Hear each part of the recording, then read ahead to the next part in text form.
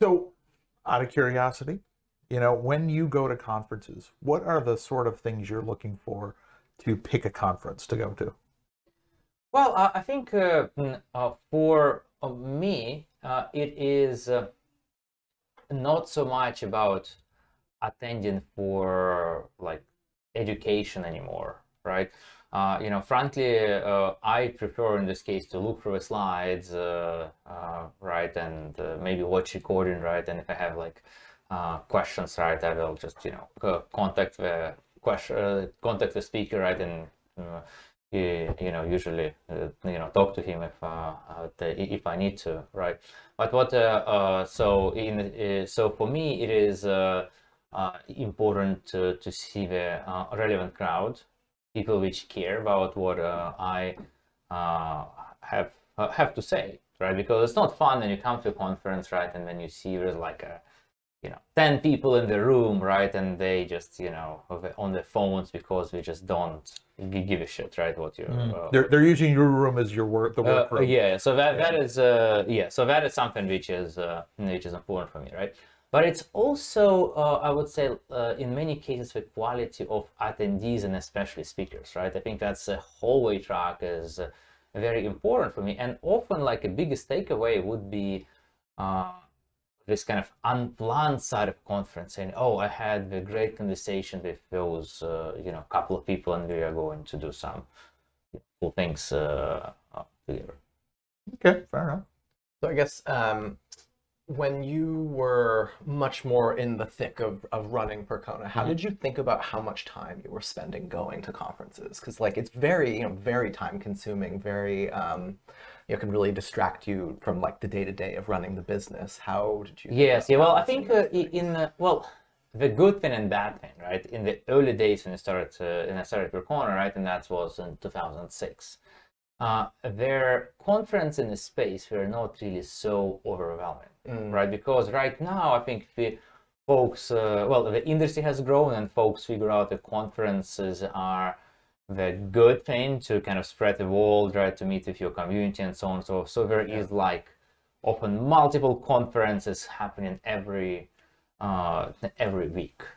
Uh, uh right so uh, so you can't hit them all right in that old days, right? Well, really there was not as many of them, right? Yeah. So you often uh, could hit all the relevant conference uh, in the in the ecosystem uh, much easier. Yeah, because really back then it was like the OSCON MySQL conference I don't even know if there really was more than just a couple Postgres meetups, right, from the database space. Yeah, but at Percona at that time also did not uh, really focus on Postgres, right? right. So, yeah, so uh, so yeah, yeah, so it was a much narrower. So that was set. much uh, much yeah. more narrow. Yeah, but now I mean, with open source, open source is blowed up, so every conference now seems to have some sort of open source track or something on it. We well, were looking at our our 2023 calendar for conferences this year, and like we could be traveling like every other week if we really wanted to hit every single yeah. conference and just like completely. Yeah, yeah, that that has yeah. become very uh, uh, very different, right?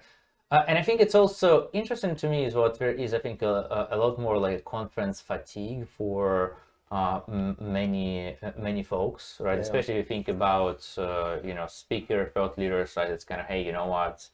I go to many of them, uh, right? It's kind of uh, well different, right? Compared to if you have like well everybody who is part of this uh, ecosystem, right? They all get together on that event once in a year, right? And you have a different uh, level of energy out there.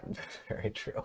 Okay, I guess here's actually a question that could be for both of you because you've you've both been doing conferences for you know a lot longer than me, giving lots of talks.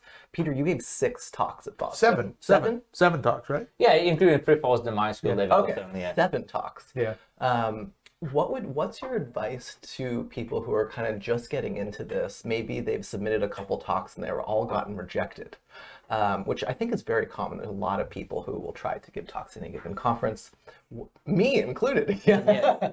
What's your advice for me to uh, to uh, have a higher acceptance rate at talks at conferences? Yeah.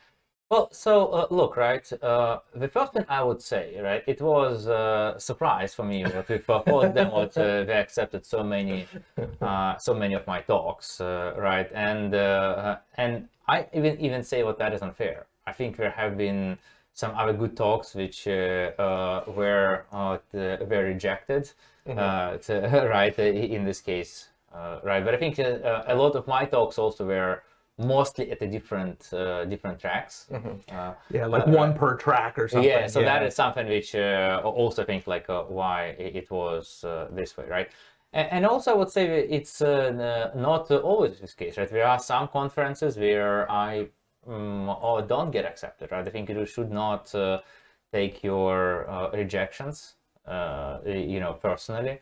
Uh, my advice would be in this case is to start uh, building your uh, building your portfolio right? Maybe you can uh, speak at the local uh, uh, events local meetups maybe some uh, webinars right? Because in uh, many cases you get that recognition right? Or if you you supply like here uh, listen for me uh, uh, to, to me speak that can uh, that can help right? I also think it's uh, and that is what i was saying about the speakers.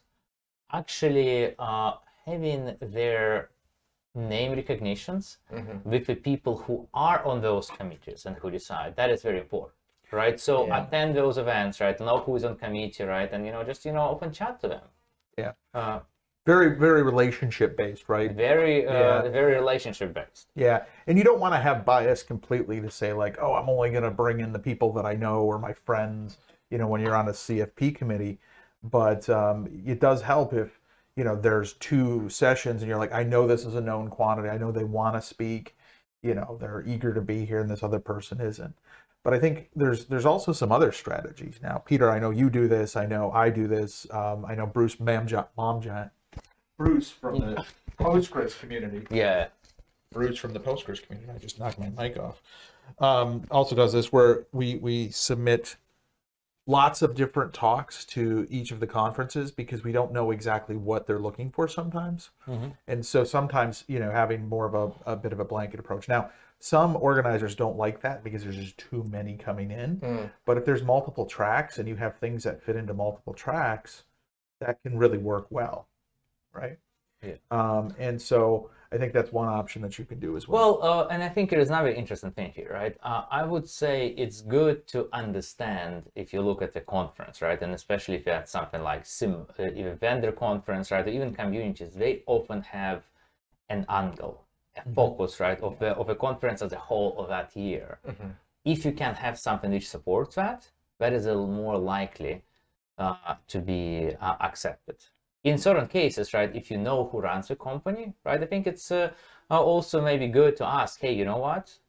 Uh, like, what uh, uh, would you want uh, to talk about, right? Maybe something, hey, what uh, you, sometimes, you know, like, and we uh, like run Percona Live, right, for many years, right? Sometimes you can say, like, there's a lot of talks about this, but there is one topic you would like to be highlighted. There is not a lot of submissions, right? So saying, hey, you know what? Uh, uh, let me know, uh, right? And uh, uh, what the gaps are, right? And maybe say, hey, you know what? You let me know closer to the end of your CFP, right? Because I'm looking to help you to uh, to cover the gaps, all right? And I think that especially uh, especially help maybe like down the road, right? When you have some uh, reputation, right? In this case, where you have that kind of say, hey, you know, I can actually talk in a variety of angles, right? Because if you are right, Yeah.